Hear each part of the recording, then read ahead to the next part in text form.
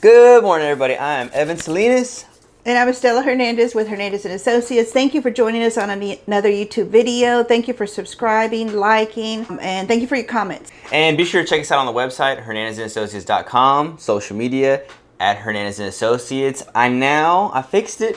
So now as soon as you go to website, boom, pops up and you can subscribe to the newsletter if you want. So if you haven't seen it before, we did a video maybe a year ago talking about the mobile food truck deal and it was pretty, pretty controversial, all right? A yeah, lot we of got people a lot of comments, didn't like it. didn't like it. Yeah, and I'm sorry because, you know, we try to bring you, you know, information that is uh, correct or current, you know, so So instead of uh, talking about the uh, FTs, that's the food truck, we're going to be talking about just in general, can I get a TABC permit for a, and it's literally going to be anything that you can think of food truck, container, your garage. garage, your other business your that you have another business. business attached to it and you want to use that space 18 wheeler tractor trailer, whatever you're going to try to sell alcohol out of and get a TBC permit for. So mm-hmm. let's go ahead and get into it. Here are the things you need to be able to answer to know if X, we'll just call that X as a variable, whatever mm-hmm. uh, structure can get mm-hmm. a permit. First one, can it get a CO or certificate Yeah, of occupancy? hmm by the city yeah. And and the city will have their own requirements you know. Uh, so you need to contact the city and see hey tell them what you're doing um, you know that you want to sell alcohol out of this container or out of this Fill in the blank. yes whatever structure it is.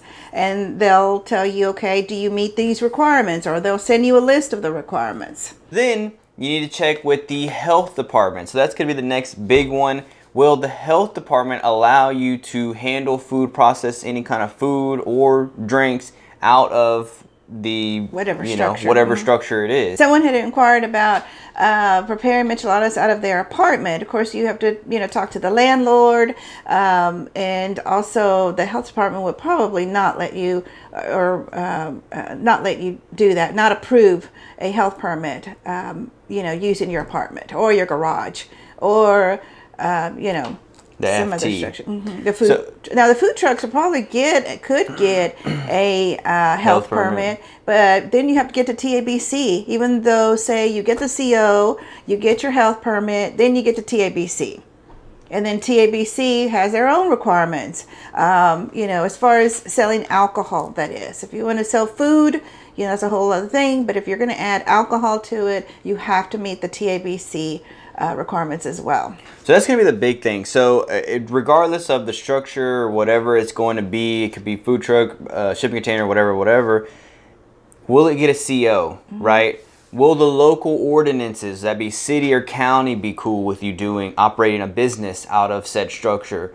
Will the health department in uh, XYZ area be okay with you operating out of um, whatever structure it may be? Your property owner. Will your property owner be okay with it? If you're the landlord, then obviously, you know, that's fine. But if you're not, you're leasing or renting this space, you know, will they be okay with you doing operating this type of business out of here, right? And even if you are the landlord, you still have to meet all these other requirements for TABC, the city, county. Because I've had people say, "Well, I've got this big piece of land. On one part of the land, uh, you know, this is out in wherever it was." That's a lot country. of a lot of people say that though. A lot of people have land that they're trying to start Right. a business on. And like it just so happened that part of that particular county was wet and part of it was dry. And he, you know, I think the um, the line, the county line or whatever city prop line, came between the two properties.